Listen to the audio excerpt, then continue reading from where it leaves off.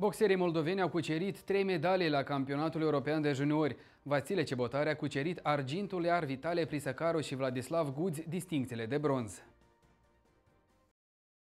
În finala categoriei de greutate 54 kg, Vasile Cebotare a cedat rusului Vsevolod Shumkov. În drum spre argint, pugilistul din Tiraspol i-a învins pe Nicolaus Avgeris, Grecia, Artur Sivanovs, Letonia și Matko Pertejansa, Croația. Tot la competiția din Bulgaria, alți doi boxeri moldoveni, Vitalie Prisăcaru, 48 kg și Vladislav Gudzi, 60 kg, s-au ales cu medalia de bronz. În total, Moldova a fost reprezentată de 10 pugiliști. În clasamentul pe medalii, Moldova s-a clasat pe locul 7 printre 32 de țări participante. Campionatul european de juniori a fost dominat de Rusia, care a cucerit 7 medalii de aur.